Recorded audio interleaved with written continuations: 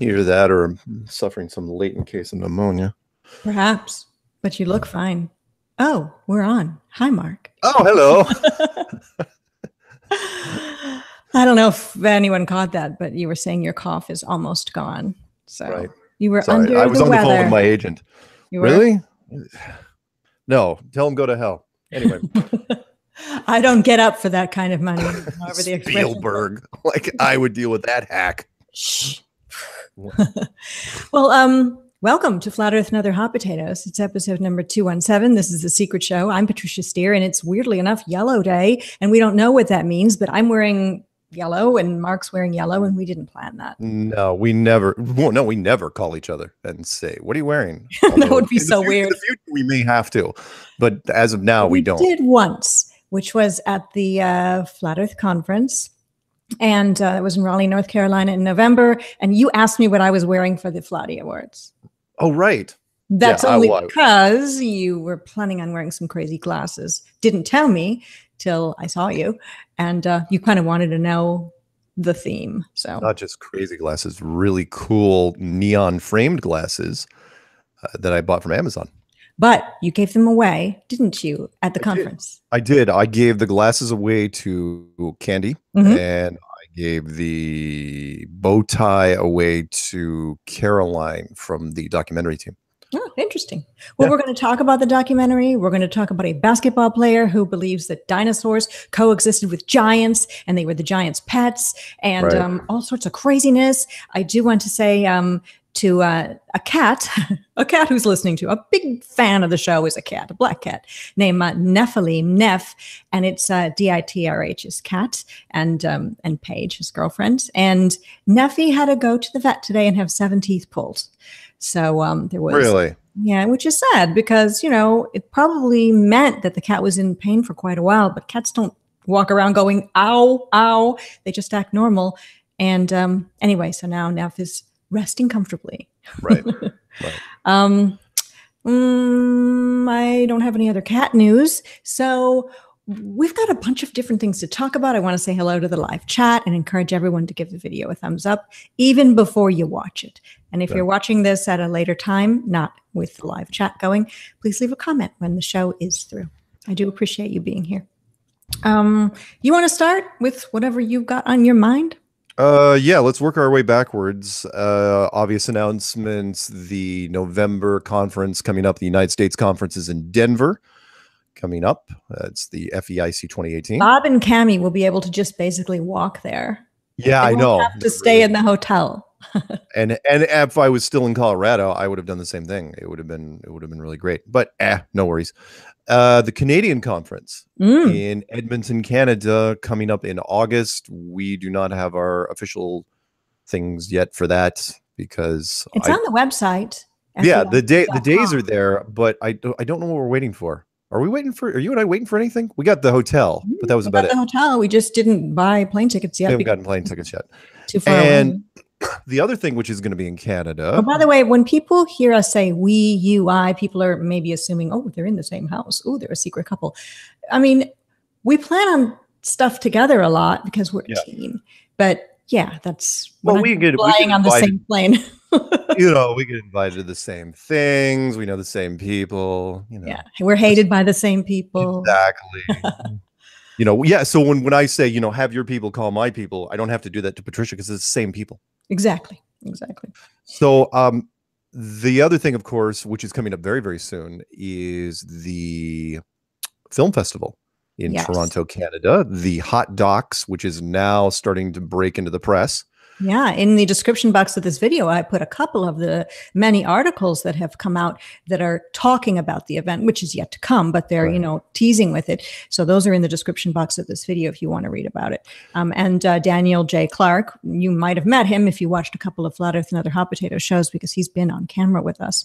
Right. Um, it's called Behind the Curve. Behind the curve. And we didn't know that was the title when they filmed it. Nope. And uh, well, they didn't have it.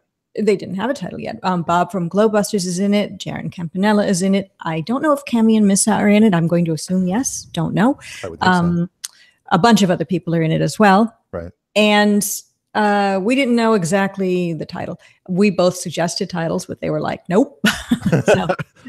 That's not our film. I mean, we we Yeah. are in it, but we're in it, but we're just we're in it, and it's a it's about flat Earth. It's about um, the I don't know what you'd say, how you'd explain it, the newly revised flat Earth uh, concept that is growing, and how there Right. are real people involved in it, not Right. just a bunch of weirdos like the general public might think. And it follows around several of us, real people, and uh, shows our life and what we do and what we think about. And it culminates at the conference that happened in November in Raleigh and filmed the conference. Many people who were there will be in the documentary. So, It's going to be a lot like in if any, and I know this, this dates Invasion of the Body Snatchers. Yeah, it, actually, I was thinking Friday the Thirteenth, Yeah, but Yeah. it's sort of a horror or the Blob. I don't know. no, it's going to be a lot like the documentary that came out some years ago now uh, called Trekkies, which was about the lives of Star Trek fans. You know, the you know, because not necessarily tongue in cheek, but because the the film the film crew has to remain neutral. So I know there's some people out there that are nervous that this might be damaging to flat Earth, but that's not what this is about. This is about the lives of flat earthers. Let you decide because they don't want. Okay, they're they're smart enough. If you're a filmmaker, think of it this way: you don't. They're going to do what ABC did, which is they're going to just paint the picture for you, and then say, okay, here's flat earthers. We're not for them or against them. We're just showing you what it's about. Because if if the film crew comes out as for, they'll get smacked by the general public. And If they come out against, they'll they'll get the ire of the flat Earth community, which and also massive. it'll just be uh, what what would they make an entire mean documentary? Exactly. no, you want you want to keep it positive energy and you want to make it interesting. That's the whole thing. You want to keep people engaged when they're watching this going, "Wow." Even if it, even if they're treating it like a car wreck. You know, where you're driving by going, "Wow, look at the mess that thing that car's in." even if they do that, it's still better than trying to say these guys are idiots. And that's what ABC did with, and which is why, by the way, I firmly believe that that uh, ABC's when you type in flat Earth, their little mini thing was is at the top of the search With your face. yeah, it's it. not because I'm on the thumbnail. I can guarantee you that. And and it doesn't matter who else is. In fact, uh, what was the thing that just came out today? Uh, an hour before the show, Joe Rogan made another piece. Oh, we got and- to talk about that. Uh, Yeah, yeah, yeah, yeah. The um, hang on, if I type in flat. Well, Earth- anyway, the Hot Docs uh, 2018 has got 246 documentary films and 16 interdisciplinary projects. I don't know what that means. right? Um, and it's uh, 50% of it are female filmmakers. And so it's, you know, it's a, a big sampling of different filmmakers from all around the place, America, everywhere. Yeah, this is going to be a big year for, as you know, because of the whole Me Too thing and the Academy Awards. They're pushing female filmmakers, Mhm. and so there's going to be extra attention paid on this this particular film festival. And even though Daniel J. Clark, who's actually got his name tied to it, I'm finally glad to see that. Is uh, he's even he's even though he's tied to the project, there are a number of women in it. So, you know, including you, you're going to be probably the most high profile woman involved with this. We don't know. I mean, I think there's probably lots of documentaries that have women in them. I'm just no, no, no. But I mean, in, as far as our project's concerned, oh, in Flat Earth. Oh, I yeah, see. in flat Earth. Well, so hey, it's, Unle- it's- oh, Miss and Cammy might be in this. I just don't know because we only know what we were in, and we don't know what gets left on the cutting room floor. uh, There could be two seconds of me. Hopefully, it's good two I, seconds. you know, I think they spent a lot of time with with you and I, and so I don't think you're going to be on the cutting room floor. I wonder if they'll leave those nude scenes with you in. Kind of hope so. no. Um. anyway, Hot Docs has been going on for 25 years, so it's definitely a well-established uh, film festival, and that's pretty much it. Um. And let, When let's well, go you go Well, I was ahead. going to say, let's be transparent about this. The reason why this documentary is at this film festival is they are trying to sell it. Do we get a dime out of this? No, No. we don't. we signed away our dime almost immediately. We didn't when- do it for that. We did it because it was an interesting project, and we said, "Sure, count us in." Oh hell, I would have. I would have paid money up front to. Yeah, I would have paid to uh, be in to, it. to, to be in it. I mean, it was it was worth it, and it's it's really a great high profile vehicle for the community. Mhm. at large, and uh, hopefully, cross my fingers that Flat we Earthers represented. are in a very, very high profile film festival. I mean, Yeah. way to go, Flat Earthers. And this is just the beginning. I'm sure it's going to get more and more and more with more of us in it. Because and it's this isn't the only one that it's going to be pushed at. They're gonna Yeah. they're gonna take this thing. Now that being said, well, we'll see how it goes, right? yeah, if there's a distributor that picks it up right away, well, then we'll see if it goes to another film festival. Or if during the whole thing there just are loads of people standing up and throwing rotted tomatoes at the And- screen. hmm. Not to toot the community's horn, but I looked at some of the other lists that you know the other films that were going to be in this Mhm. film festival. It's like, look, let's let's be honest here. Flat Earth has got to be the most interesting film that's going to be there by Well, far. we think that because we're flat earthers. It is though. It is. It I think you're biased. oh, come on, it's okay, so what if you were a chef? What if you were a chef? There's Really? a Canadian documentary being shown there called The Heat, a kitchen revolution. Yep, yep, yep. yep, And so if you were a chef, you'd be like, "Oh my gosh, it's awesome!" Stupid flat Earth uh, film in there too, but did- you know, did okay, all right, all right. Let, let's put this in perspective, shall we? Mm. Flat Earth, even before it became a documentary, was so powerful that it changed the YouTube search algorithm. Algorithm. Wow. all right, flat Earth's The- the, the whole right. the whole criteria. Wow, I couldn't say algorithm. but it, but it's true. I mean, when you when you type into Google, you type in Earth is or the Earth is, it always comes up flat. You Say is the is the Earth flat?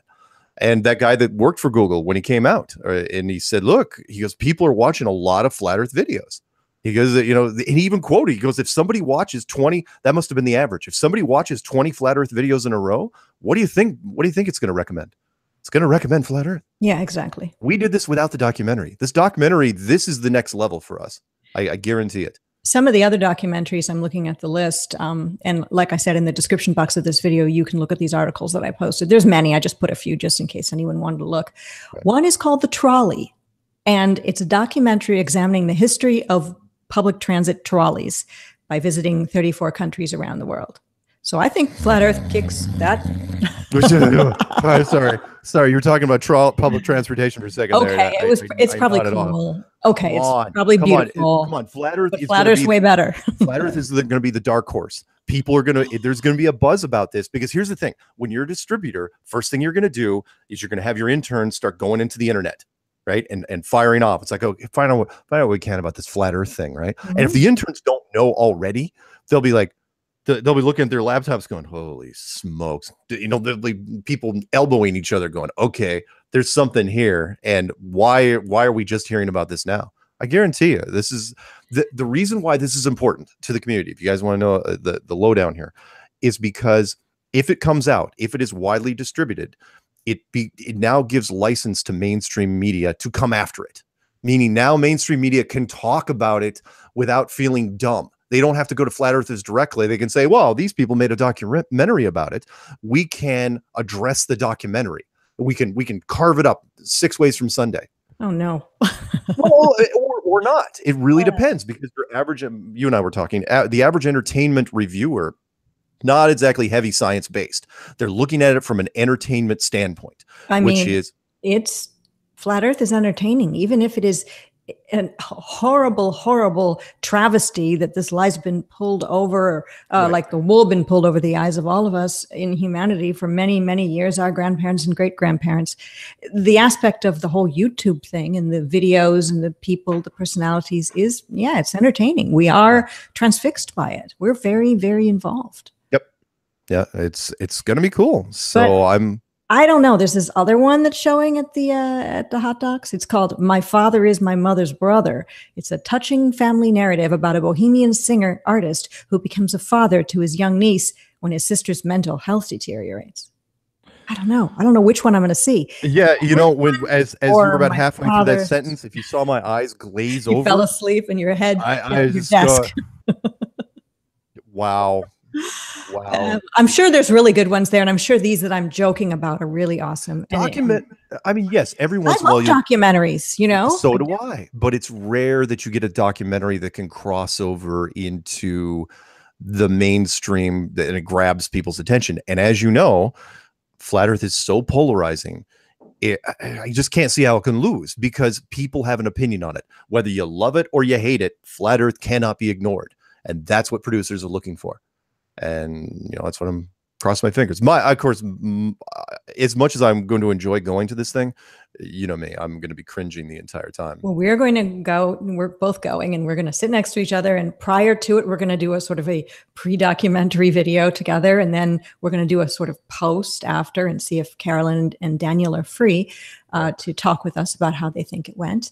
And um, there might be some drinking before we sit down in our chairs ah, to Oh, watch the documentary because I, not that I rely upon drinking to alleviate my nerves much, but we'll be drinking. Yeah, again, we'll bring flasks. We'll no, we won't. I'm excited, but at the same time, though, I you know you just you, you never know. well, you I'm- know, when you, you film anybody, any person, even if you use your phone and you film a family reunion, there's going to be some moments using your cell phone, even that you're like, oh, that particular shot's not that great. I'm the the one thing I am not worried about though is having it turn into a negative piece against. I- Flat Earth. no, won't. I, I, am sorry. I was there during eighty percent of the shooting. And You know- Carolyn and Daniel are very, very, very nice people. Right. And unless they are the biggest damn liars the world's ever Oh my seen, god! And worse than the powers that should not be, then I think hmm. it's very neutral. Um, and they've neutral peas, and they've treated us flat earthers gently. Yeah, and and remember that w- there'd be no reason to bring us up there. You know, we're paying for to go up there ourselves, but there's no um there'd be no reason for us to go to the film festival. They wouldn't even ask us if they were gonna, you know, just Maybe they might because it would add more spice to it. whatever. Whatever. They don't no, need no, to no, throw the they've been- tomatoes just at the screen. They can actually hit us in person. no, as a matter of fact, they and I, the the team and I have been exchanging little emails because they're looking for whatever angle they can to pitch it to producers. And and so I sent them. I don't know if you remember that thing I did ooh, last year where I typed flat Earth and then converted it to another language, and then use that language and type that into YouTube, and then I made a compilation of you know French and Spanish and German and Russian and uh, take your pick, Canadian because you know they have their own language. Pig Latin, you know. Yeah, pig, pig Latin, uh, some dead language that hasn't been spoken for a thousand years, stuff like that. I think it was Anunnaki. The um, all those things help because that way they can sit. You you pitch it to them. It's like, look, there's an international market out there. It's all about you know for producers. It's like, okay, who can we pit? You know, who can we market this to? It's like you can market this to anybody. But You know, know? some people might be watching this and saying to themselves, "Self, why would Mark Sargent and Patricia Steere or anybody at all want flat Earth to be out in the mainstream public in a documentary or picked up to do some kind of a mini series or whatever? Right. Why?" And I, the uh, my number one answer is more eyes see flat earth. More people not all of them will be able to learn about it and then do research and then Yeah. start you know growing more flat earthers so we can change the way the world works. I know that's a, a big ask but we can never do it without more people more The- hands on deck. we are a media based world let's let's call it what it is you know social media has now taken over everything. Social media is drowning out television they're drow- drowning out movie theaters. Whatever avenue it takes to get into the homes of people that have not been exposed to flat earth i'm all for it. Right. If i have to go freaking door to door. Hello my name is mark sargent have you heard about flat earth? Exactly. And, you know, I- what, whatever it takes if, if i have to sneak into their homes through netflix that's what i'm going to do. I whatever t- uh, whatever avenue that we have to go down i'm i'm a backer of. And so having the documentary was just natural and honestly look it was not the these were not the first guys that called us. This documentary should have been done 18 months ago. How many people had spoke to us before? Three? You more than me three, because or four, three or four groups. In fact there were I'm- Before I actually, arrived I on the actually have scene? lost count of the people because there was a and other people it's not just us other people as well have been talked to Yeah, I mean, True True TV, they were the ones in tw- 2015. They were looking at us in Yeah, yeah, I 2015 remember. before you got on board, just before you got on board, and then uh and weren't you saying to yourself wow you know what we need more women in flat earth and poof then i appeared. that's exactly what I thought. Absolutely, really and, and in fact, yeah, that, the fact they were asking me for that, they're going, we, you know, can you get us more women? I'm like, uh, yeah, I'll, I'll work on it, see what I can do. I had to conjure you up. The uh Uh, then we had Robert Kiviat and the Netflix deal that that died. Uh, two Due other to, in some part, a certain Mr. MP who made some kind of video with some other person that was just full of lies about the Robert Kiviat project. Oh no, I was thinking of Eric Dubay. Oh well, yeah, that part too. there was that, sort part of. Uh, oh yeah, no, no, Matt. Matt No. has never. he's never helped. I didn't us. name him. You did. Matt. No, no, Matt. Matt has never helped us in any of these things yet. Uh, I won't get into it. Poor Robert Kiviat. You know. Or Robert, yeah, and the I mean, there's been others down the road. So when Daniel and and because it takes time, the Daniel's team spent an entire year with us. Really started in the in the Yeah, spring and was up in Seattle twice. Took me down to the Eclipse. Was down to Houston twice. Once with you solo and once with me. interacting with tons of people. It, it was out in Denver with Bob. He was Mhm. out in Los Angeles with their group. I don't know exactly which part of their group they were they were down there. He was doing the LA thing. And then he went then the whole team went down to Raleigh. So they got a ton of footage. So, of the flat earthers who were in involved in any of those scenarios, maybe you're going to be in the documentary too. yeah, yeah. Kind of exciting. And after it's shown in the film festival, I, I don't know where it goes, so that we can tell people here's where you view it. When we find out, we'll let you know. We won't know until they tell us who who bought it. I'm so excited. And it's So- next month. Today is March 21st, Right. 2018. So it's in April. And we don't know because the uh, the film festival lasts Uh, two s- weeks. s- yeah, a couple of weeks. And we're slot in there somewhere. Yeah. Slotted in there somewhere. Yes. Yeah, we don't yeah, we don't even know. I don't That's have my why we don't tickets. have tickets yet. Yeah, we don't have tickets yet because I mean all we know is we're gonna get in. We don't have to buy the tickets for the festival, Right, but right. we don't have our plane We've tickets because we're not yeah, we're not gonna and yeah. buy plane tickets. So if anyone, yeah, if anyone's up there, and you know we've got a big Canadian contingency. Yes. If anyone's up there in Toronto, uh, look it up, and if you can, Ginger find out- Sugarbush, actually, he and I have been corresponding, and he was saying it would might be a great idea to um, go to uh, Niagara Falls while there. I've never been to Niagara Falls, like a day trip. Have Oh, you sure. been to Niagara Falls? uh, no, no. Do you want to go to Niagara Falls with me, Ginger, and others? I will go. How could I say no? Really, I've always wanted to go, but it's just one of those things I've never done. there's So- all sorts of different things you could do there. You could go below and put on the rain gear. You could watch it from above, whatever. So anyway, eh, you guys, so so it's called Behind the Curve. Look for it. There's going to be more stories as this thing progresses. I don't want to bore people by talking about this, but it's exciting that there's a documentary about flat Earth. That's you know, a, real full blown. Well, I Yeah. mean, it's it's the next step because I I know we become kind of media spoiled, especially after the conference. You know, all those interviews from from all the good and bad. You know, good and bad, but surprising. Like BuzzFeed, they did a nice job. ABC News did a nice job. Uh, HBO could have been a little kinder. As you know when they put kooky music behind various Right. flat earthers it just it's so manipulative and Right. i am quite sure that daniel and carolyn haven't done that in this case in fact no. uh, the music that's been used for the documentary uh, behind the curve some of it is stuff that we all know some artists that we know i don't know if we're able to say who some of them are or I, we can't because we don't we don't know who we don't know we know who we've suggested Yeah, we've suggested. and Look, I've gave them all the lists, and they've got tons of material to choose from. Music, serpent music- doesn't mean they're in there but they've been suggested yeah, um, Isa Mahalski. Just, you know, you send the email to Carolyn and Daniel, and we don't know what they do. Uh, We don't know, but it took him. it took them three months to edit this thing so you know we're i'm i'm expecting some good stuff i they got some good. They've got some good material in there so it's going to be so fun. i know, I know. So much flat Earth stuff going on. Okay, so we've got all that right so, documentary let, coming up us in so April. let's seg- let's segue into one of the weirder things let's segue into the off-broadway play That's the which- weirdest thing which ever. just And we, opened we've talked about that a little bit, but go ahead.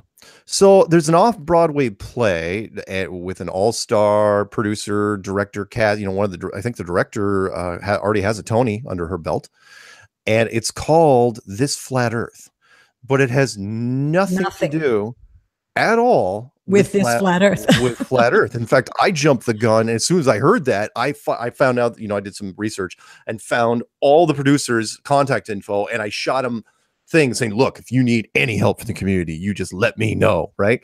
And then because they they didn't list, you know, because it was a teaser back then, I didn't know what the script was. now that I know what the script is, well, they're not going to be using us for for much help. So it's called This Flat Earth, eh, and, and this is where it gets a little odd. But it's about two kids who survive a local shooting at their high school. Of all, By the way, that is so weird. I know, isn't that those things happening lately, or supposedly. because this script was came up before the Parkland shooting. And so what she appears to have done is she remember how I said that that flat earth when it started entering the media it became uh, a term that was used to describe crazy people. So there's there's nuts, there's really insane and then there's totally flat earth, right? You know flat earth has now been synonymous with really really crazy. So she thought she'd be clever and instead of calling the play Our Crazy World or Our Insane World, she called it This Flat Earth. It's somewhat insulting, actually. Kind of, but at the same time, it's like, look, it's it's metrics. And who knows if this thing's up for a Tony, um, you know, down the road, this thing could, if it has legs, I mean, it's going to run. And if it, if it gets good reviews, we're going to see this flat Earth in the vocabulary Well- of the Broadway scene. Remember a while back there was this um, writer Thomas Friedman who came out with a book called "The World Is Flat: A Brief History of the 21st Century," and there Oh, was all these clips that were on YouTube with a guy just talking about any random thinking thing and saying something like blah blah blah blah blah. Well, the world is flat, and then he would continue his his, and, and people were Right. saying that he was coming out and admitting the Earth is flat, but no, it, it's somewhat like this filmmaker just using that as a sort of talking. And this filmmaker, it's the same. And if you're Yeah. looking at YouTube videos the past couple of days, it's probably still available to see. In fact, I'll try to find it and put it in the description box.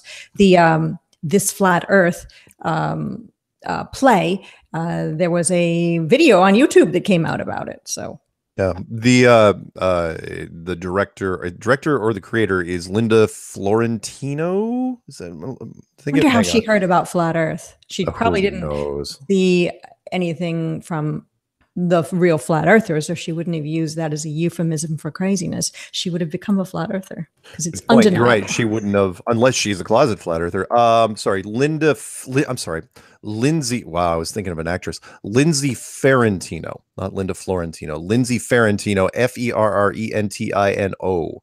The Flat Earth begins at blah blah blah. It's on Playbill.com, the official Broadway website, and it just opened. So we'll see. Two 13 year olds attempt to try to make some sense of the events, their lives, and the future. There you go. Sounds compelling. I, Really? I don't know. Maybe. Whatever. It's it's Yeah. it's again. It helps the metrics. Why not? Yes, just something else with flat Earth in the title. That's And interesting. again, I guarantee that that title wouldn't have even existed hadn't we been along because we yes, we put it in the media so much that now people are just throwing the term out there whenever they can. right, like the author, and you know, yes, Yeah, there's probably more to come. We do not know. I mean, there may be going so far as you know how lipstick shades. Well, you wouldn't know, or you might know. Uh, lipstick shades have crazy names like Persuasion Pink or something. Oh God. There yeah. could be a lipstick named Flat Earth. No, I'm not joking. On one of those Don't get me edgier brands. Don't get me started on A beer. I mean, there is a shades. beer company called uh, Flat Earth Beer, I think, or something like that. Flat Earth yeah, Brew. flat well, Flat Earth Brewing Company. Sure. Yes.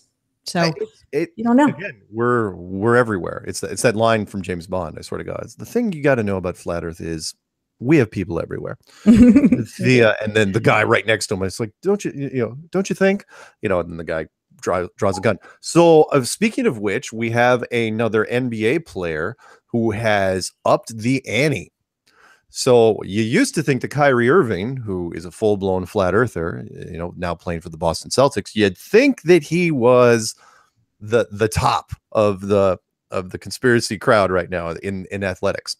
Oh no, my friends, he is not. As of yesterday, there is a new guy out there, and you can you can tell where this is going.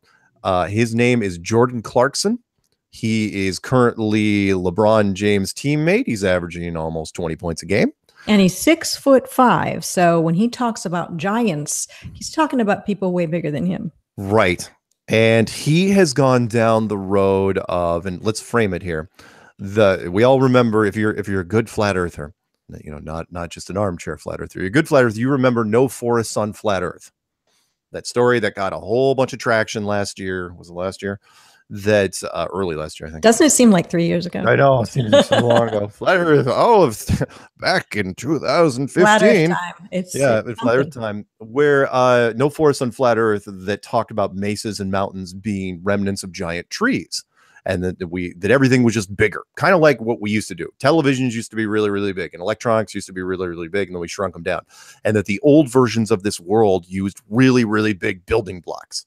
You know, the sandbox was just much, much simpler, and so he comes out and says he just doesn't say that no forests on flat earth no no no he takes it a step further and says that and i quote dinosaurs were kept as pets by gigantic people That's and i you know what pretty trippy. I yeah, I'm don't- saying it's not true. oh i don't hate it A random person read that, it would be compelling. oh yeah yeah because you have to you have to unravel that whole thing Right. it is like okay where where is this coming from and then so you have to work backwards from gigantic people from their gigantic pets to the gigantic gigantic forests and Sounds like uh, the Flintstones to me. And he mentions the flintstones Oh, really? yes he does uh let me see here Clarkson didn't say if he had been bin- binge watching the this is i'm sorry this article is from washington post I, it's in the description box. Just put it there. Everybody's picked up on this. Uh, Clarkson didn't say if he had been binge watching The Flintstones, uh, but he did seem quite serious about making his comments on road tripping. Same same podcast that that uh, Kyrie came out on. Same guy. Uh, uh, a podcast usually hosted by former former Cleveland players Richard Jefferson. Je- Richard Jefferson's not with the Cavs anymore, and Channing Frye now with the Nuggets and the Lakers. Road Let's tripping should be real name renamed. They're tripping. The podcast released Monday featured a pair of former Lakers, Clarkson and Larry Nance Jr., which is amazing. I actually I remember Larry Nance Sr. Uh, that was my era, who were traded to the Cavs last month. The subject of not believing in dinosaurs came up, and Clarkson said, I don't believe in dinosaurs either. Well, no, actually, I do. And then he went on his jag and says, This is going to get a little bit crazy. And then he was going to take you all a little left on this and they say y'all know how we got dogs and stuff right so i think there were bigger people on the world before us and like the dinosaurs was their pets. And you know that's all you need. And you know, i mean he, he goes on but i won't read any more than that. You guys can read the article yourself. But the point is is the press you, you have to understand if you know anything about uh, just ger- general journalism the press are just hate talking to athletes because they're so dry and they don't have anything really interesting to say because they're just trained over the years. You know, they're trained to say, just talk about the game. it was a rebuilding year. I- Yeah, exactly. Our Well, you opponents know, were very well matched. I know we're down one three in the series, but I think we can come back. You know, we got good coaching. We got a chance. You know, we playoffs. We absolutely can make the playoffs. So eh, when a, a player comes out and goes and forget about you know it's not like he's talking about trump or talking about uh, global warming or anything like that. He's going as far out as you could possibly go and still be in the nba basically. And and so it's great. And and so there's already people you know they're tweeting about it and it's it's fantastic. More fun on flat Earth, really. yeah. In fact even josh hart jumped on it today uh the uh, uh comedian he goes so this is what you say when you don't have me sitting next to you anymore love it it seems like Joe Average or Jane Doe or whatever out there who doesn't know anything about flat Earth is getting a heaping dose of it through all forms of media. It's being kind of like slipped into their coffee, you know? It's they're Absolutely. getting drip fed flat Earth information. We've got a play, we've got sports players coming out. Um, it's it's amazing. We don't know exactly what's going to happen next. Who would have thought there would be a, a play that came out with Right. flat Earth in the title? I mean, right. And since the uh, that YouTube guy came out, the former YouTube employee, there was a secondary story because people started paying more attention to YouTube and conspiracies because of that. And as some of you know, I, I, I you and I don't have children, but YouTube Kids, the YouTube Kids app, started catching flack because they're actually recommending conspiracy videos. And they're saying, well, why are you guys recommending conspiracy videos? And YouTube has to kind of dance lightly around this because they can't just say, what are you kidding? Conspiracy videos make us a lot of money. you know, there's a lot of people watching conspiracy videos. But also, why is it wrong for children to be exposed to conspiracy videos as long as it's not violence or uh, you know language or any you know the usual things that you wouldn't want children to be exposed to it's against, you know, it goes against the uh, the current state of the union. Wait, yeah, of course, but in reality, why would you not, if you were a parent, want your children, your child, or children to be exposed to all sorts of um, ideas about how the world works, and then let them make up their own mind, perhaps with your help? Right. Right. I mean, This- it- what is truth? Is it only what the school books say? If that's the kind of world we live in, I mean, I know. it's over. The um let me read well quick little just part of the opening paragraph as reported at um uh by Business Insider's James James Cook the app is meant to filter out adult content. However, an investigation discovered that YouTube Kids was recommending videos claiming that the world is flat. yay! Like, yeah, of course it is. Why wouldn't it? Because it's not again- adult content. I mean, you know, it's but it, again it comes down to the algorithms and that is the one thing that's so different about flat earth compared to any other conspiracy is you are almost mandatory driven to binge watch you know what i mean? It's not mm-hmm. you know other things like oh watch two or three videos about jfk or whatever. But with flat earth you absolutely get sucked in and you do not know what to do. It's like you know just one more just one more just one it's like no i'm not going to work today one and more then you wake up the next morning, and the first thing you do, you search to see if there's new ones that came out. exactly and, And like, back in 2015, sometimes there weren't, but now it's you know we're spoiled. Actually, we've Uh, got yeah, new ones dude, every I'm- minute of every day. I'm so jealous of people that are getting to it now just because. No, but not really, because I think it was easier in 2015 because uh, you got to actually view them all if you wanted to. Oh, now there's yeah, no yeah, way you never could. Sorry, I'm jealous of the initial reaction where the, all of a sudden it's like, wait, how many, how many, how many videos are out there? It's like you realize you you don't have enough time in your life to go through them at this point. It's like this is a fantasy of mine, by the way. It's like in your house or apartment or wherever, you suddenly find a door and you open it and it's a whole new room. It's a whole new, Yeah. it's a whole new undiscovered area Yeah. um, that people don't know about. Yeah. You, you get, you know, you, it, people say, "Oh, it's that weird little corner of the internet." It's not a corner. No, Anymore. it's huge. it's monstrous. Matter of fact, we broke just two days ago when you type in flat Earth and you sort by uh, upload date. We just broke nineteen point nine. You know, we're we're we're up there. We're way way way up there. And you again, you compare that. You go, I type in Donald Trump right now. Donald. What about cat videos? I bet cat videos still be. Yeah, it's different though. That's it's fluffy. Yeah, Donald comes in at 21.9, 22. We uh and that's that's the president of the United States, not just the, any president, the most talked about president in the history of presidents. And we're we're right up there with him right now. And we're doing this without any marketing. We don't even need a press secretary. We just have we're just doing this by existing, right. which is fantastic. I just love it. and we're not organized. We don't have a leader. Um, it's just it's just happening. It's amazing. Yep. Yeah, I mean, it's not exactly Occupy Wall Street, but at the same time, we're. Oh, I'm sorry. Let me let me talk about, uh, if you don't mind. Uh, I got to mention Joe Rogan real quick. Oh yeah, we were going to discuss that for So sure. the, just a couple hours ago, two hours ago, as a matter of fact, two and change, he came out because Joe uh, Joe Rogan has a massive internet presence. He he has really worked social media well for a C list actor now. I'm not exactly sure. Uh, and he came up with another one. It's a little five minute video. It's called Joe Rogan explains Eddie Bravo's flat Earth beliefs, and it had it's now number one or number two depending on when you search for it because and that's why I finally figured out what verified does. You know that little check mark next to your name that Yes. What that does is it gives you the benefit of the doubt. It's like okay, for your first 48 hours, 72 hours, whatever their algorithm is, we're going to put you at the top of your genre and we'll let you get some hits and then if you keep it up then we'll leave you up there. But other but then we'll start ratcheting you down. So he you know he may fall you know in the next couple days but for the next couple days we got to see his freaking face again. And you know he's saying the same thing. He's in, in fact he during this little clip he said oh yeah there's quite a few conspiracies that, that have merit but flat earth isn't one of them. Which i thought was, thought was interesting because this is still the guy that i thought didn't believe in any conspiracies So he says flat Earth. yeah, there's quite a few conspiracies that have merit, but flat Earth has no merit. Nope. So Nope. how does he? Well, we all know how he feels about the moon landing. Does he feel that that has no merit as well? I don't Would know. it go in that category? I what don't know. conspiracies does Joe Rogan think?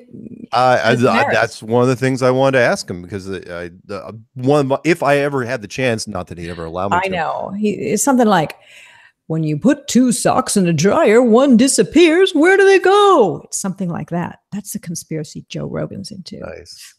That's like a Seinfeld routine, by the way. just just something really stupid. Anyway, so if you guys want to check it out, you can. The he does this every once in a while. I mean, that particular one, JRE Clips, I think has three hundred thousand subs, which is it's all right. I mean, it's no PewDiePie, but he's Well, he's already he's already dropped off the top ten almost immediately because he's a, a totally a paper tiger. He he capped out at about 4.8, 4.9, and that was it. He was gone because they aren't real. PewDiePie, if you guys don't haven't heard already, is the number one YouTube channel in history of YouTube, and it looks like he's been buying subs pretty much since year one. Really? Now, how can you prove that? Uh, how many different ways do you want? We don't even have the time to go through it all. Give us Uh, a couple examples. The, the okay, one of the one of the big examples is when you go out there because these sites that you know you can buy it, for people that don't know, social media has changed the game in that there are services out there which you can buy thumbs up, thumbs down, like you would want to buy thumbs down, or you could do it for other people if you wanted to. Uh, you can buy subs, you can buy views, you can even buy automated comments. And you can always tell the automated comments because they're in broken English because they use an algorithm. It's not like there's human beings doing any of this. It's all Are these algorithms. Russian bots. I heard heard people talk about that. Some some might be, some might be Chinese. I'm not sure, but in PewDiePie's case, there some of these services actually reference him by name and say that, oh yeah, look what you know, look what we you can we can do for your service. We can bump you up. Does that prove that he's guilty? No, absolutely not. But I treat it like this, and you and I have talked about him before. Eventually, you have to deliver content. So you know, in, in a big city, if you wanna you wanna hype up your restaurant, you make a new restaurant, you can hire a fake crowd outside, put velvet ropes up, and generate this buzz. It's like, hey, there's people. You know, by the time you get to like the third or fourth level of people back, there's real people going, oh, we got, I heard it's really good, even though nobody's actually eaten there. Eventually, you gotta serve a meal. Sooner or later, you gotta do it, and he never did. He never delivered anything. I've wa- look, I have watched a whole bunch of his videos. He delivers nothing. He is literally known for one stupid video where he's just laughing at a Minecraft character getting stuck in a tree. That's literally where he got his, his start. Well, and they- some people do like PewDiePie and have even messaged me and said, "Well, I get why people like him. He's entertaining." And no, no, Uh, you and I don't not. think so, but maybe it's an age the, thing. the statistics no i don't care if it's he has children as as subs or not there are certain things that would happen statistically if you had okay let me, let me put it in perspective he has 61 million subscribers right the next closest person to him is justin bieber at half that number. He has more subs than taylor swift and Katy, Katy perry combined right? If that was legitimate he would be on talk shows all the time. If he ever uttered his mouth and gave an opinion on anything, he would be treated like Warren Buffett. Well, he- didn't he basically invent the whole gaming video thing on YouTube, playing a game and then talking? No, no, not really. I mean, yeah, he was one of the guys to do it. Wasn't he one of the first or one of the eh, He was one of the early guys, sure, right? but it wasn't. But everybody did it better than him. It's not. Yeah, he he was one of the first. Yeah, but it wasn't enough. He wasn't that good, right? First person shooters. There's a lot of really really great guys out there. He's just. Oh, sorry. There's no. I I know exactly what he did. They turned it. It, it he turned it into a cyclical pattern, meaning YouTube pays you for your views, right? And you take those views and you take that money and you sink it back into the software and you buy more views, which gets you some of that money back. And you just keep ramping up and ramping up. And they never knew- when to quit. So they should have stopped at like 20 million, 30 million with everybody else. But no, I mean, do you understand? There's nobody between Justin Bieber and him. That's it. It's it's just Well, if you like the kind of thing he does, he does those let's play videos and he does reading live comments and his own personal sense of humor. He has guests on with him. Um, and He's he awesome. plays fan made games, which Whatever. would endear him to true whatever. gamers. He's all right. All right. Let me let me. I'm not one more- defending PewDiePie, by the way, at all, because I've tried watching and I thought, wow, you know, I guess I'm just too old. And I hate saying that, but Look at I his felt. look at his channel. His about He's Swedish. That's yeah, and he's Cool, Swedish. He's not even American. For well, that God, doesn't mean anything. I always thought Sweden was. we always place. we may not create the the highest caliber of entertainment. They have Swedish meatballs and vegan Swedish meatballs at IKEA. So You're killing me. You're really killing me. The uh, he recommends no channels. His his abouts thing says we I make videos. That's it. He his mission statement isn't there. His channel is literally there's nothing there. And in his description box of every video, it just literally his first lines is buy my chair. Three hundred ninety nine yeah, he's got this custom chair that you sit in to That play he can't sell. He What can't sell does- any of them What does PewDiePie make? in terms of money.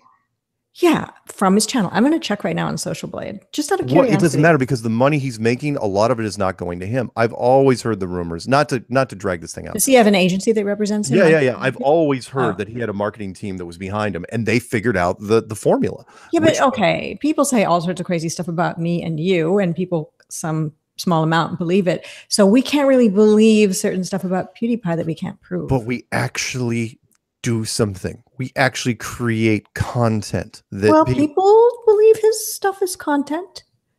it isn't. There's nothing there. It's hollow, and it does not. And even if you could say that it was actually there, it's not 60 million people worth of content. It's not. There's no breakout videos. Nobody's buying his merch. You know, it, it, it- no. You're telling me he can't sell 100 chairs? I'm looking at um, Social Blade, and I put his name in. Yeah. He's an A channel, A rated channel, which Shocking. is Yeah. good channel. Yeah. Um, estimated. Would you want monthly or yearly earnings? Which is better? Uh, he makes, uh, I think, 100 grand a month. I think. um, 661.9k through 10.6 million yearly. Yeah. Oh my It's ri- it's god. Yeah, and if you sort and and I and if you And that's sort an estimate. I mean, yeah, I know, and it depends on. But again, he, his marketing company gets a lot of it. and then I'm going to look now at his subscribers. That you know, you, it yeah, if you shows a month. by subs, you'll see it. Oh wow, he gets a lot of subscribers, like 18,000, 20,000, 17,000 per day. And yet, I saw a thing the other day where he lost nine hundred thousand over a course of a month. So Yeah, I don't see has he found here. a way to like build it? You know, what's the? Daily average is 19,655 subs per day for Yeah, people. whatever. Whatever. There's no flat earth channel that's like that at all. Anyway, let's let's move on. I'm sorry. I just it's just We're just like looking deeply into PewDiePie. I oh, no I understand I understand the exploit, but I I I think it's great he's got a successful channel and more power to him. But I think Yeah, but if the numbers aren't legit, if they're not even close to me, look, okay, let me compare it. Sorry, this will be my last thing. I promise on him. You can't compare him, i- i- whether you love Justin Bieber or you hate him, or Taylor Swift or Katy Perry. These people have put out a ton of content, major label hits, right, on a regular basis for years, and he's crushing them. So, why isn't he a major media figure? Meaning, why isn't this he? is true. I see what you're saying. He should like be on Taylor talk show circuits all the the time. Singer. She's on talk shows. She does fashion modeling. She's probably got a makeup line or something. Sells stuff. Makes personal appearances. Obviously, sings. Creates He- revenue through writing songs, uh, making videos. Um, He- I don't know. She might even have a book or something. I've no Oh yeah, eh, there's there's no limit. I mean, there's people that would lie, cheat, and steal to be those people's agents, and those just the three that I can I can think of at the top of the heap. Whereas he he did try to do one reality show. I think it was Punk PewDiePie or something like that, to where you know, it was like a like a prank show where people were doing pranks on him, and pretty sure it died in the first season. so boring that it couldn't make it. Exactly. He's not. I look. I, I'm not. I'm not going to toot my own horn here, but I know comedic timing, and he doesn't have it. I don't care if he's European or not. Well, he maybe does not have it. a quite much younger generation who's watching it doesn't understand comedic timing. Maybe I'm a kid- I'm a kid at heart. Lost. I- I- maybe that's true. I, I- I mean, well, hell, Zulu's kid says that uh, he he was a fan of PewDiePie. See, there you go. It's popular, po- very popular. Um, you know, I don't. What's popular in mainstream? I always have looked at and said, "What?" So Well, I know, and and part of that's because we, uh, you know, we've tapped out. We've run out of things to. yeah, run our things to do, we- society, which that's a theory let's- of yours. let's spin- let's- society is Oh, into absolutely. the regurgitation mode of old things. we we have run out of novelty. We have run out, and which is why let's segue back into flat Earth here. Let's circle back around. And Flat that is- Earth is that what the show's about? The- Absolutely, it is, and that's why flat Earth will win the day out, win the year, and will be the end of all media because it hasn't been touched. It is still to this day virgin territory in terms of media, lack of a better word, exploitation. Nobody's done a show on it, reality show. Nobody's done a documentary on it until next month. Uh, nobody's turned it. You know how it goes. I mean, how many, how many real? After the first Real Housewives show came out, how many are there now? Can you even name them all?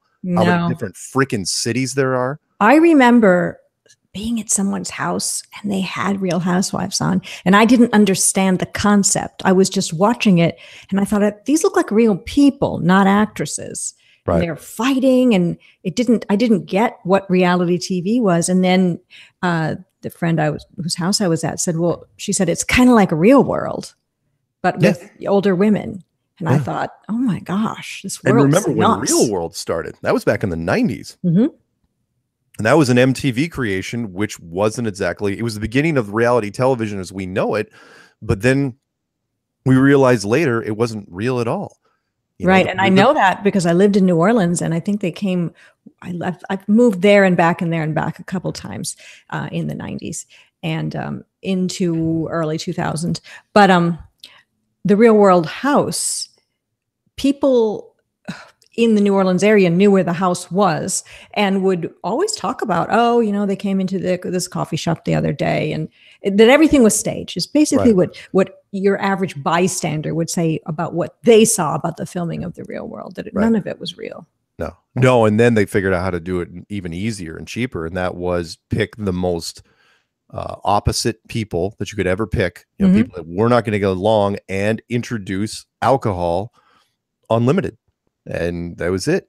That was all he had to do. well like the whole big brother thing the big brother house the uk sensation Oh, uh, right. I've never watched it. I've seen some videos Right. about it or little little excerpts, but that had a a, a controlling, disembodied voice, and uh, that was had the people in to have chats. And then there was that other Survivor. I never got into Survivor either. Yep. I just sort of fell off the edge of the earth at some point when it came to mainstream programming and just literally said way before flat earth I don't like any of what's going on anymore. I just don't want anything to do with it. And then I would Right. find myself being the only one at a party or something who had no opinion on any of the new movies or TV shows or the new albums. And it, it- it makes you feel kind of old, but in some way, it's not about age anymore. It's about your discernment. So you end up feeling kind of proud you're not involved in that garbage. Uh, again, yeah. If you're a certain age, you've seen it. You, you, well, You've seen it not- better the first time the movie came out, you know, let alone Yeah, the fourth it's like- How many times has this been remade? I mean, how Mhm. many times? Well, before Blockbuster closed, that gives you an idea of how long it's been. Back when you could go to Blockbuster and you, you just walk down the aisles, like seen it, seen it, seen it. seen it. Blockbuster. I totally remember those days.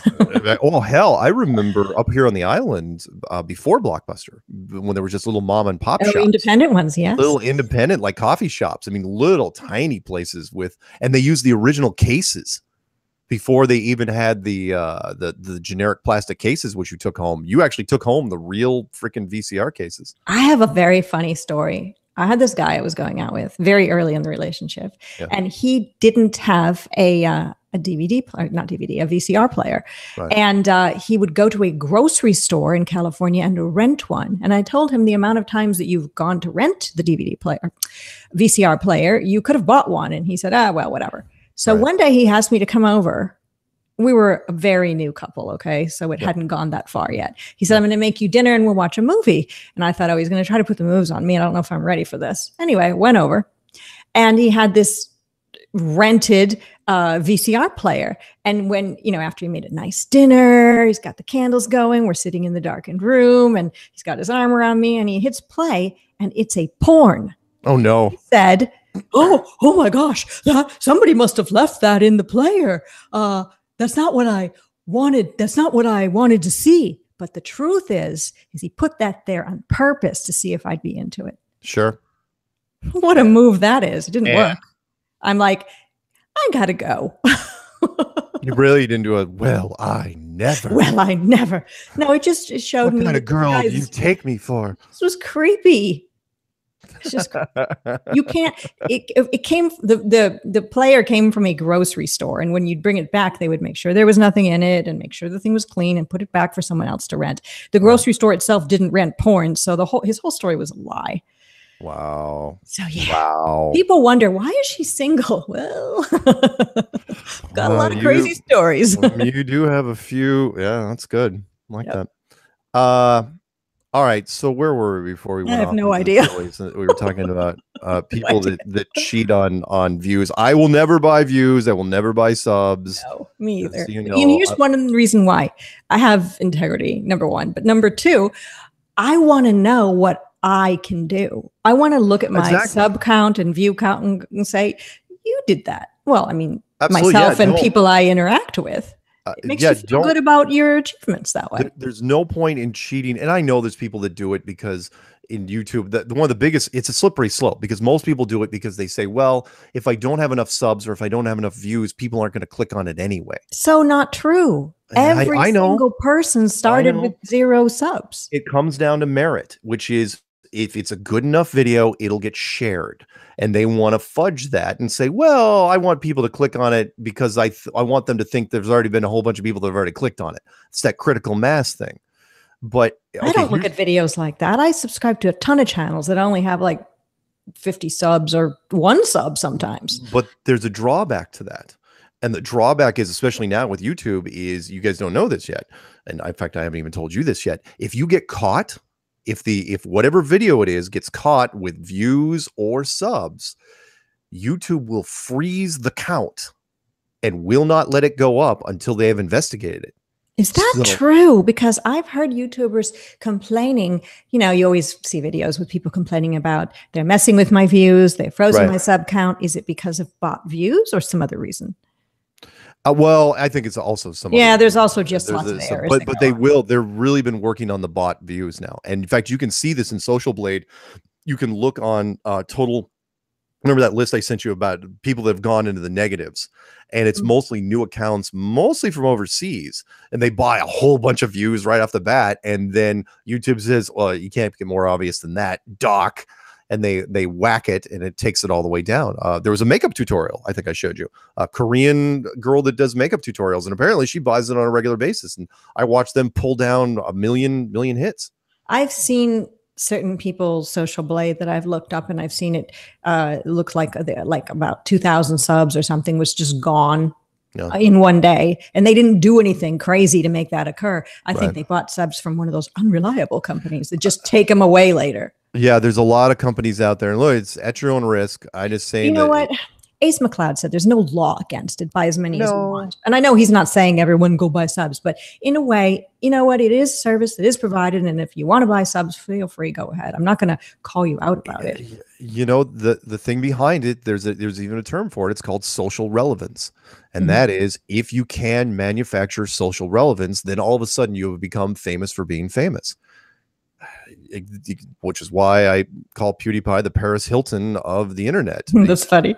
because yes he he he became famous just for being famous. Like oh because you don't want to be the person on the outside. It's like that guy's got 10 million subs. I'm going to sub to him because i don't want to be left out. These people obviously know what they're doing That's a crazy way to look at things. That's the old what your mother said. If everybody jumped off the roof, would you? bridge, you jump too it's like well if it Yes, if i was in the they middle will. no it's not that you would jump off the bridge but there were if there were 10,000 people running around you towards a, Pacific, uh, a destination in front of you uh, you probably are Mm, going to hey, be you know, it's a It's like that uh, experiment when you go outside and look up at the sky, you know, in a in a crowded area, and then everyone starts looking up. Same thing.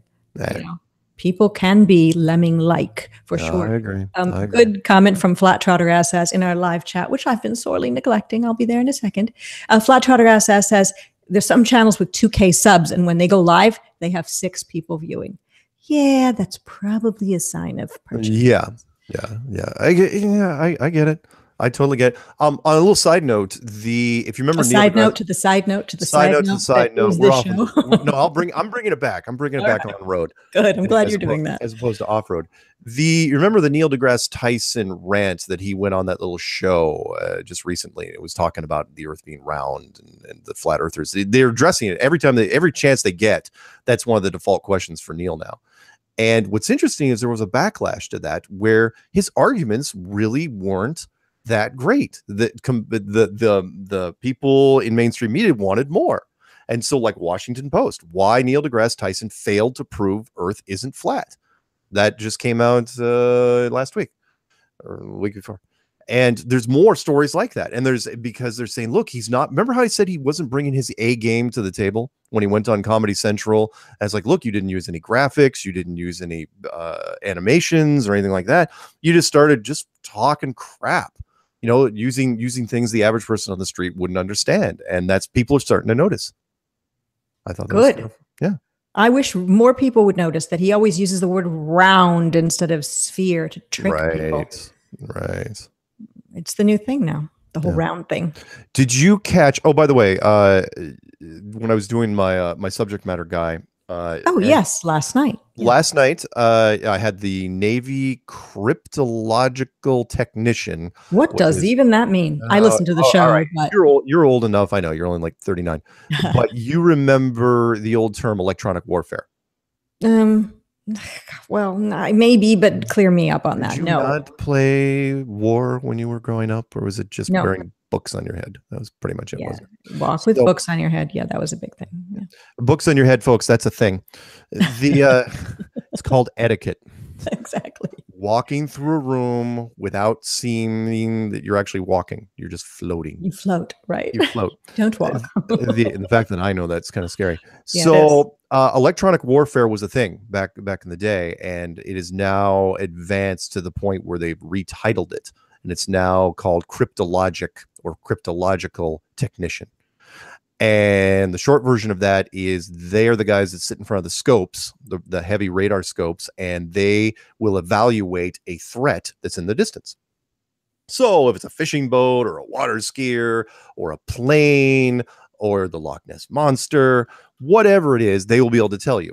Um, it, that's straight out of Star Trek, where you know Picard would say, you know, that ship, you know, what you know, what do you know about it? And then say, well, it's a class three, blah blah blah, with such and such phasers, and they they will absolutely analyze the hell out of that ship. They'll look it up. They'll send out drones. They'll take pictures. They'll uh, th- then they'll feed the pictures to everybody and say, okay, that ship that's thirty miles out, it's this. This is our recommendations for it. Blow it out of the water or just ignore it because it's a whole bunch of Chinese fishermen. Whatever it is, it's it's whatever. is. So that's what this guy did, and he was making some wonderful observations and saying that, oh yeah, their radars go way way further than the curve, and even in some instances, and I don't know if you heard that, uh, where they were tracking ships at 500 miles, which should not be possible with with standard radar. He goes, they even the Navy can't explain it. It's just sometimes it just happens. The the the atmospheric conditions are perfect and they can actually hit ships at 500 miles. And he goes even weirder, they could track airplanes out to a thousand miles. Should not be possible, which I thought was interesting. Hmm. Yeah, Very interesting. And now I know what electronic warfare is. yeah, electronic warfare. I had no idea. Everybody sounds- knows what electronic warfare is, but I- well, I didn't. But uh, in our live chat, someone named Cat Herder says electronic warfare is so 90s ish. I shut up. it's not 90s ish. Okay. And uh, I did have Flaticourt music saying, I look very 80s ish today. So Uh, That's a cool term, electronic warfare. I think it's better than cryptological because now everyone thinks cryptocurrency. yes, indeed. The um the other thing which was interesting at the end of the show was that I was reading an email from a guy because you know I I, I put out kind of a new challenge. People said, "Well, what would it take for you to believe in the globe?" you know what Uh, evidence Strapped like, to a rocket and shot into space. what? no no not that no asking me not not recommending to me it's like you should go up on a rocket and then we'll leave you there oh see what i did i said because he'd be a gone away yeah The So- Flat Earth Society has believers all around the globe. oh my god if i hear that one more if I hear it one more time. they still use that for the conference. They still say people came from all around the globe to go to the conference in Raleigh. It's like, ah, it's funny. State comedic timing. They didn't have it. So they uh no, I was saying that okay, other than putting a 4K camera on the side of a rocket and making sure you just left it on, no edits, no cuts, and let that sucker go up to where the earth falls away, that's good. But I thought of something actually down on the ground. It was because of that vacuum thing Yes. that following recently and i said look in fact they can either do it with me or they can they can do it by themselves or i can do it by myself which is give me a freaking astronaut suit you know the ones that you're just casually just throwing on and going out into the vacuum of space and put me in a vacuum chamber and turn it on um, we don't want that happen to you because well you no no they would no they wouldn't do it because it would kill me that's just Right. it they should Well, they like, might oh, do it. Let's get rid of them. no, Next I was Eric Dubay and then Meth my God. Powerland. was looking up astronaut stuff and he was trying to find astronauts in a vacuum chamber. Very, very tough to do. In fact, the only one that he found that was relevant was James May from the British television show Top Gear. They put him in a G suit. Uh, if you don't know what a G suit is, it's the when you're in the Air Force, it's that G force pressurized suit that they put you in. It's almost like an astronaut thing. But the thing is, it's part of the plane. So it's not a standalone suit. You sit in there and there's a whole bunch of tubes and wires and all this crap, and it's pressurized from the plane. And they put him in a vacuum chamber and they cranked that thing up only for a second or two. And they made sure he wasn't standing, he was sitting, and the suit just went absolutely rigid. Because when you're in a, pl- a flight suit, you don't have to get up. You're just sitting there, you know, you, you and your joystick. All you have to do is move your forearms. That's all they care about. And it's like, yeah, that's perfect. Now explain to me how that works with that giant chamber with all those things hooked up to them. Explain how you converted that to a little backpack that's on the back of an astronaut suit. What sort of powerful motor and battery system and compressor is being used to keep that thing from succumbing to the vacuum of space? It doesn't exist. It- we know it doesn't exist, but aren't there people who built that thing who think it, every single thing that goes into space, there are people who build these items and then think that they go to space. Un- unless there is no subcontractor for the the backpack and the astronaut suit. Show so show me somebody. Tell me what the, the exact specs of. You always hear thing- stuff like, my grandfather built the blah, blah, blah that's on the ISS. I mean, you hear people say that. The, Not the my grandfather, but my father or something. the compression system that would be in that backpack would what what's powering it? What battery? Do you know how heavy the battery would be, and how long would it even last to fight off the vacuum of space if you could even do it at all? And What I'm didn't the saying- battery backpack also keep them from freezing? Oh yeah, and it's an air up? conditioning and it's an air conditioning system and it's part of the communication system. What miracle backpack is on the on the the, the backs of those astronauts? If they don't Mm-hmm. exist. And my point is that and we all know this, we've all we all talked about this, is that an astronaut exposed to the vacuum of space would he would blow up like a balloon. The fabric would would become rigid immediately. He wouldn't be able to bend his arms. He'd just be he wouldn't be able to move at all. He wouldn't be able to move his legs. So it's a perfect thing to do to Neil deGrasse Tyson. I think. well, I was willing to volunteer, of course, and say, "Look, just give me a freaking astronaut suit. Put me in a chamber. Tell me, and I will tell you exactly what sort of mobility I have. And I'll even let you know. And you can't put me in there and say, "Oh, it's a vacuum now." No, no, no, no. I will have those. th- They had two of the three objects. It was great that I would put in there with me. One would be like a rubber glove or a balloon with a single breath of air, which was which blew up exactly like I t- I thought it would. One is just some standing tap water, which boiled immediately because in a vacuum chamber at room temperature, the the, the water just uh, boils immediately without heat. You know, it just starts gassing away. And the third thing would be well, I'm not going to tell you what the third thing is. Mm. It's it's a secret. But the point is, is You're going to keep that in your backpack. uh, I am. I, yeah, it's like because the other two things you could fake if you wanted to. The third thing you absolutely can't fake. But it's it's to- sort of related to the other two. But I thought it was fascinating that uh, that they again one of those little things we missed. It's like why do astronauts train in swimming pools? Because they can't train in a vacuum chamber, and you've got to show them training somewhere. Even though a swimming pool is absolutely counterproductive. It's like, uh, yeah, but that it's watertight. It's like, no, no, waterproof and vacuum proof are completely different things, which is why I included that train container, which you probably saw in now the Mhm. beginning of every Strange World I do, that 10, 15 second clip of the German steel train car, which was crushed like a like a monster had grabbed it in two seconds from just a mild vacuum force compared to the vacuum of space. Sorry. Um, I want to, don't say sorry. I want to, you know how I was talking about that there's some channels that I subscribe to that have hardly any subscribers at all. Right. I want to give a shout out to a channel that I am going to encourage everyone to subscribe to because she's a really awesome person. I think Wow. that's reason enough. And in the description box of this video, you will uh, find a link to her channel. Her channel is Elspeth Awake. That's E L S P E T H Awake, Elspeth Awake. But if you can't remember, just go in the description box. She only has 27 subscribers. And um, she made a wonderful video sort of for the Easter season for you and I. And it's called Flat Earth Peeps. And she used those marshmallow candy peeps. I don't know if they have those in the UK, but I don't know if they've got them in Canada, but they're definitely popular in America. Marshmallow chick shaped things and made a whole diorama like you would do in high school with the flat earth and other hot potatoes set, I guess you'd call it, with my jukebox in it, with my three cats, with your gray cat Bitsy, who we don't see too much anymore, with the uh, the flat Earth and a dome over it, and um, it's just really charming. She took a lot of time, kind of like an old claymation uh, sort of cartoon. She took a lot of time to make this video. Anyway, so please subscribe to her channel and give the video a thumbs up. It was just a really nice, wonderful, and warm thing for her to make for for Mark and I, and I just want to thank her. And the only way I can actually offer her something is to just have you who are watching uh, subscribe to her channel and give her a thumbs up, which will make her happy. so Nice. Yeah, it's a good no, it's a good channel. I love the diorama thing with the peeps. That was very clever.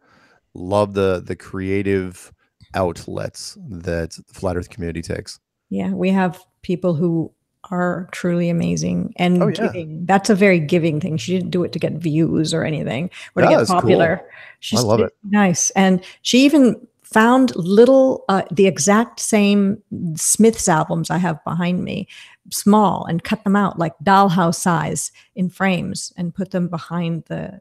Her attention to detail was amazing. It was. She even had what you call the peanut gallery, uh, which you you mentioned on Right. uh, your Strange World show, and these sort of pastel colored peanut candies in the background. Anyway, it's just pretty pretty Yeah, cool. So that was neat. love it.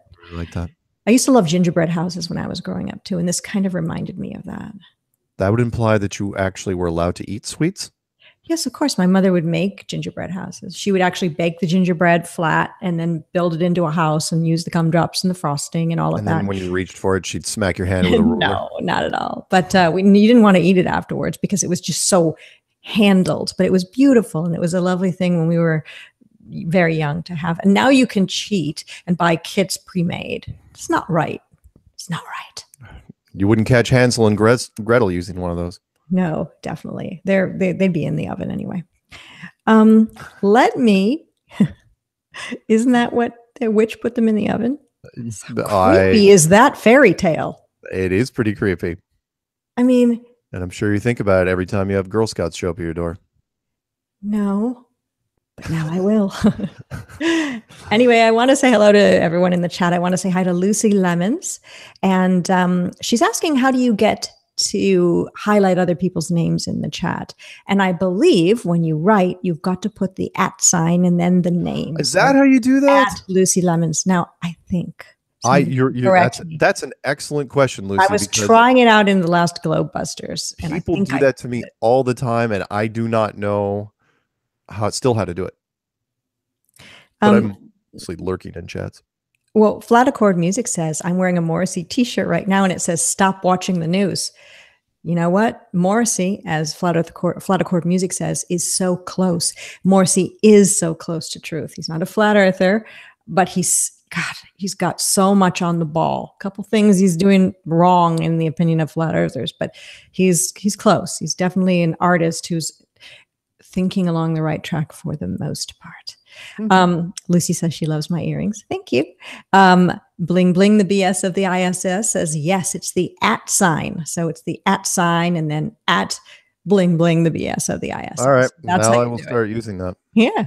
Uh, the Hori Sheet Show is here too. And he as well is saying if you put the at symbol in the first two or three letters of their name, it pops up. Oh, good. It pops up. That's very, very helpful. Um, DITRH says no, you just put their name. Is he trolling me? I don't know. Who knows with that guy? He's just a- Um, let's see. We've got Bob of Globebusters here and Timaeus who says most fairy tales were made to be scary. Yeah, I mean, what about um Jack jumped over the candlestick? I mean, a boy jumping over a candlestick to burn himself and then Jill falling down a hill or something and there's a spider and falling off a tuffet, whatever that is. Danger. It's all about danger and death when you're young, when you have those fairy tales. there a lot, a lot of people die in, in fairy tales. they do. They do. Um, we've got Joey Sylvie as well. Did I already say D Marble? Maybe so. We've got Nathan Oakley, 1980, and Stephen Watson and Ireland Von Vicious. Congrats to D Marble, by the way, for doing the South Korea stuff. I saw the pictures. Excellent. Yeah. Wonderful. Going to a conference in South Korea and speaking in front of a bunch of people and, and having the food and enjoying the experience and being somewhat outnumbered because everyone Yeah. is, is not And- speaking English. That's when you know Jealous that, of that experience. So cool. that's when you know that flat Earth is has got legs. I mean, hell, I'm media jealous of him. Yeah. You know, that's that's what it's like. Wow, how'd you get that gig? You suck, D Marble. It was great. I, I was really. I mean, I love. I so darn good looking. I'm, I'm, I'm so darn good looking. No, I Um, was. I, I, you know, I push him all the time. It's like, get me off the camera. Put D Marble on the camera. exactly. Um, plus he's nice, super intelligent, knows what he's talking about. I I mean, go pretty far. much he's the perfect No, storm. No, no, no, no. He's just just a good looking guy. Quaalude Charlie is here as well. Uh, I already mentioned Cat Herder, Rob Morrill as well. Rhonda Fairman is here. Glenn Parents, uh, Martin Liedtke, who says, I'm here, but I'm just laying down. You know, you've been doing so many videos, Martin, lately. You deserve to lay down a little bit. Uh, Diva Dante uh, is here. And Racer FE for Life, who says, Thank you, Mark, for subject expert interviews. And uh, everyone in chat is still going back and forth with the at symbol and I've I've got one next week, by the way. Uh, right yourself. What have you got next week? uh, next week, I have a telecommunications specialist that has spent a good chunk of his career working with satellites, which he Mm. says are not what you think, and fiber optics. He, he's dealt with just about every major telecommunications company, and he, he goes, "Yeah, he goes, it's all a piece of crap." He goes, "They're they're, they're not nothing's How to true." use those words. However, it will be on Truth Frequency Radio, TFR, and that's going to be uh, 10 p.m. Eastern Time um, on TFR. seven, seven Pacific, eight Mountain, nine Central, and uh, yeah, Truth Frequency Radio, and we're gonna. I think we're gonna do him Tuesday. Very cool. Um, I want to say hello to Laurel Austin and D Wave is Surfer. Um, I've missed so many people because obviously the show's been going for a while. Uh, Paul Giacomo, China Mrs. Jones says, Mark, you could just ask Tesla to send you up there in a car. That seems to be the safest way to travel considering the shuttles blow up. Yeah, yeah, his bulletproof car. Yeah, his space-proof car. Yeah, don't no, don't get me started on Tesla today. I'm. I'm too tired to go on that rant. Um, hi to Craig Bryan and Ute. I think I might have mentioned Toto Call. Don't know. Snowfire is here. Snowfire says, I wonder what other famous person is going to pass this year. So far, Billy Graham, Steve Hawking. Who else? Didn't Oh, Tom Petty die this year too, or was Yeah, that last year? I think it was last year. Last I don't know. We'll see. Uh, hi to Stephen Chess as well. I'm more interested to see what new celebrity. We still haven't really gotten any actors to come forward in Flat Earth. Hmm. And Well, we've got uh, all of the people that involve themselves with NASA. They're actors. Well, you know what I mean. I mean, what I'm saying is the the documentary actually may help that because then it's like, okay, now you know now they can chime in. Oh, You watch, you wait. If that documentary gets distributed, you'll see some tweets from the film community saying, "Hey, I thought it was really interesting." Hey, and that way that they're off the hook a little bit. They If can they say it was interesting and fun, job done. Job It is, done. yeah. Is if they, in fact if they can say interesting and without saying that we should be neutered, then I think we're, we're Interesting, but I think they all should drink bleach. yeah, I think we're gonna be okay. Yeah. So I, I think I'm I'm I've got high hopes. Um, what else do we have? Um, I saw all people, free people here. Hello, hello. Um? Shiny happy people. I know. all day Uh. Anders Ace, Irk Childs. Um, Oh, I want to read. I want to read a funny email before we go. Um, I want to say hello. I'm just going to give it a little sk- ding, ding, knockout. I've never heard who that is before, but you've got a hello in the chat, even if That's you're trolling. That's a trolling. boxing reference, Patricia. It is a what? It's a boxing reference. Oh, I don't Ding what- ding knockout. Hmm. You know, boxing bell. ding, Oh yeah, okay, makes sense. Makes sense. It's this know. is Earth, Patricia. I don't know about boxing. I'm not into violence. I'm not into people punching their perfectly good faces. Earth, America, sports. it's like you can't just land and say, "Oh, I got this." food, I'm not going to read the manual. violence. This is not the earth I signed up for.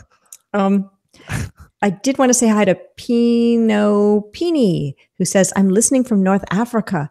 I like these subjects and I like learning the English language. Oh, so what country in North. Africa? Because North Africa is not a place. Yeah, Pino, tell us where you are. Egypt, Libya. Where is he? Hey, Spake Face, thank you for being here too. Um, let's see, I want to make sure I got everybody. Eh, I might not have, but um, Daniel Reza is correcting me and saying fighting is an art. You know what? That part I do get. I understand it, martial arts and that kind of thing. But just when people are actually physically punching each other in the face, it, it doesn't. It just doesn't do it for me. Your mileage may vary. Well, yeah. I mean, martial arts is more of a, a dance than anything. Boxing can also be sort of a dance form, Mm. kind of, but then it kind of degrades into basically who can stay standing. That's really it. I want to say hi to Four Eyes to See, who's been doing a ton of videos lately. And Carolyn Gutman Day is here too. And uh, Jose J.G. Gonzalez as well. And Joseph Smith. And um, let's see. There was something I wanted to mention that had something to do with an event that's coming up. Yes, it was from my Facebook. A guy whose name is Ven, V E N, Giancia, G E A N C I A, says, We are planning our first event for mid November at Denver Open Media, 700 Kalamath Street. According to NASA, the definition of cosmology is the scientific study of the large scale properties of the universe as a whole. And what we are going to do are enactments, comedies, comics, animations, music, and personal narratives. So this is called the Colorado International Flat Earth Film Festival. Oh, right. Right, right, Yeah. right. Um, you can look it up, Colorado International Flat Earth Film Festival, and uh, it's going to be in November. So I wanted to mention that for those who are interested in that. All right. Um, hmm, hmm, hmm. what else? I know there's more. I know there's other things I was going to talk about. Um, I've got an interesting guest that I think is going to happen tomorrow. Only the reason I say I think it's going to happen because it's unlike, uh, for example, if I contacted Joey Sylvie and said, "Hey, Joey, would you be my guest tomorrow?" We'd plan it out. I'd mention. I'm just picking his name randomly because I see it. The chat Right. people would know, oh, yeah, Joey Sylvie, I know who that is. Well, this is a person that doesn't have a YouTube channel. And he's interested in flat earth, but he's not technically a flat earther. His name is Daniel Wiley. And he's a guy who is interested in uh, the pharmaceutical industry. He's been involved in the pharmaceutical industry for years. And he has a very interesting story to tell. And we're going to talk about uh, pharmacology, uh, healthcare industry. And he says that at face value, these things might not be related to flat Earth, but it is part and parcel of the same grand scale Oh, sure. programming. So that's what's going to happen tomorrow at 6 p.m. Eastern. And he's got an interesting story about how he got involved uh, in what he's doing. He's 52 years old. Um, he was a former licensed pharmacist. And um, the cancer industry we're going to talk about and and more so very interesting show that i believe is going to happen tomorrow i only say i believe in that i don't know him as well as i know other people right. Count on to be here so All right. that'll be cool Cool. And I'm also, oh, Bob from Globebusters just said, Patricia, talk about what you are going to be reading. Oh, you know what? I don't even know what the thing is that I'm going to be reading. But um, if you watched Globebusters on or listened to Globebusters on Sunday, uh, Jeran had a portion about two and a half hours through where he was talking about. Um, uh, I don't even know how to explain what he was talking about because I haven't read it yet. Um, it's a PDF that he offers for free. Maybe Bob can tell us. Bob, could you put a little uh, link? It, it. I'll just say until Bob clears clears me up. Um, Jeran found this really cool book that has quotes from all sorts of people. Now, the quotes have not yet been verified, but they're very interesting and they're very flat earth. And I'm going to be reading the PDF, and I'm going to do that on Friday at 6 p.m. Eastern. So I've got a I've got a show on Thursday the 22nd, which is tomorrow, and Friday the 23rd at 6 p.m. And uh, the PDF is called A Plea for Flat Earth. You might have heard Jeran talk about it. Hmm. So I've right. read it yet. I'm happy that Jared's yes. back, by the way, that he's got some of his status back. He's he had you remember he had two strikes and he had one of them uh, either expire or overturned, and so he's back up and running. Good.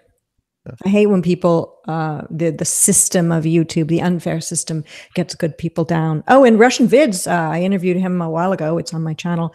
Uh, I've interviewed him three times now, it seems. But the most recent time, um, he didn't have a channel, and now he's got a channel. So just look up Russian Vids, you'll find his channel. And he's been on the Sun and Moon uh, group show a couple times, doing uh, doing live hangouts, which is very unusual for Russian Vids. But he's definitely mixing and mingling with all of us.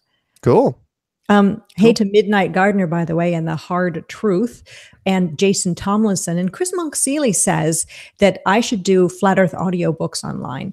I- You know, I have read. I did it in 1984 in full, and I've read portions of other books, but I had issues with my contact lenses, and they weren't the right prescription. And I'd always read some of it and not be able to follow through. Finally, got it figured out.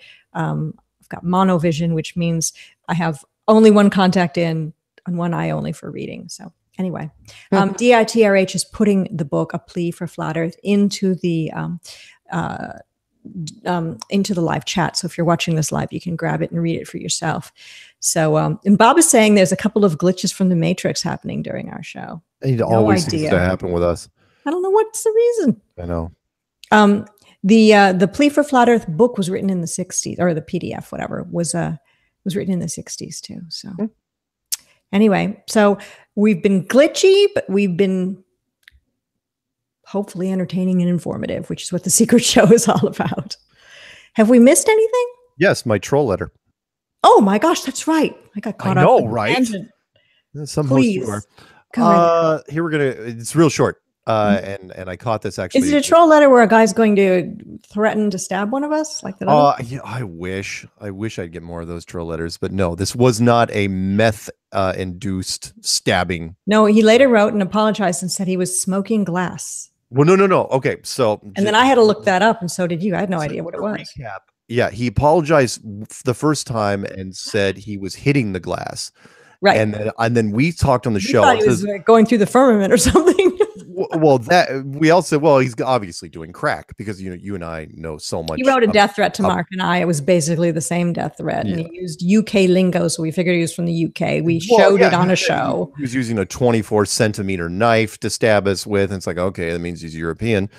And We're pretending to be European. yeah, and and he said, and then we read that on air, and he apologized in an e- in his first email and said he was hit, he was hitting the glass when he wrote that, and we thought he meant crack because, as you know, you and I, you know, we're from the street, represent, Right. and we're we know not. all the cool Oh slang. yeah, we were absolutely. oh my god, me and me and Puffy, we're we're tight. Puff the Magic Dragon. yeah, exactly. Sid and Marty Krofft. What? So Smothers then Brothers? that and the Bugaloos. The, um, sorry. So then he we read that on air, and he writes back again, and he literally titled the email "Death Threat Apology Number Two with Correction," which is which is a brilliant name for an email title. And he or said, an "No, album name. yeah and he goes he goes and he goes no hitting the glass doesn't mean hitting crack he goes i was actually doing meth i had been doing meth i was on like a six day bender So when you And- do meth, you want to kill people? I didn't know that. I thought you meant I- I, I- thought you just want to clean your house with a toothbrush. Exactly. When I do meth, I'm usually pretty constructive. But Yeah. apparently, when he does meth, he wants to stab you YouTube. and me. so no, I mean, I don't. I think there's confusion there. I honestly think that hitting the the glass is actually crack, but he seems to think it's meth. I think maybe it could be interchangeable. Either the way, things we learn on this show, it's pretty darn amazing. this is not that. This is just a straight up insult. You ready? Okay, go ahead. Okay, it's real quick, and then we, you can wrap it up. This one's got- the ti- title of it's called Antarctic Ice Wall. It's like okay, well I'm going to open that, dude. You need to get off the island more. I'm over here in Everett, and I want you to know without hesitation that you are an idiot and moron. You and your pack of flatty McFlat faced dumbasses need to just shut up, and I'm here to take you on. Show me the thousands of miles long ice wall according to your map where ships sail in circles. He spelled sail like garage sale, just so you know. Don't give the lame ass excuse that it is protected by the governmental cabal. Bullshit, okay? You prove the ice wall and I'll bend over and kiss your asshole. Really, Bob Monroe. And he actually he actually split ass and hole into two words. You know, it's weird when you do get troll letters, they always have misspellings. They do. they do. It, it was, it wasn't just one. I mean, he was he went out of his way. But yeah, Flatty McFlatface, whatever. Nice. Yeah, it was, yeah. So I appreciate that. It's not often I get creative troll letters, but I thought it was worth it. So, I like it. Um, a couple other people have joined toward the end. 118 EAL is here. Um, page 42 is here, and Still Earth Journey is here. Um, I've also got to say hi to Midnight Gardener, although I think I probably did. Sometimes I say hi twice because it's just too much and I can't handle it. Can't remember all the all the names. Um, I think we've concluded this broadcast. cool. That's it. There It's ain't all no cool. more. All cool in the gang. Yes. So have a lovely afternoon, evening, or where uh, wherever it is, or where whatever it is, wherever you are. And please give the video a thumbs up and um, subscribe to Mark's uh, channel, Mark K Sargent, and subscribe to my channel, Patricia Steere. Well, that's me, but it's called Flat Earth and Other Hot Potatoes. And I'm almost at 13,000 subs. Excitement. Yeah, give me subs so I can catch up to Jeran and eventually. Man's got 95,000 subs. He deserves a whole lot more. He does. Yes, he does. I don't mind. Whatever. It's, you know, everything's going to play out the way it's going to play out. you know what? It's nice to have subs, and it doesn't really matter at the same time. Yeah. You know, know, What matters is the movement move, moves forward and the community no man left behind, exactly. whatever that Yeah. means. Okay, goodbye. I'll catch you later and keep it flat. Long live flat Earth. Hail Hydra.